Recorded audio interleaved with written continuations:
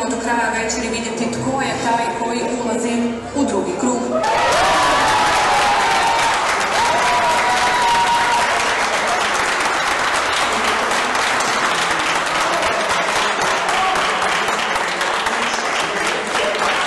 Sve kao, sve good.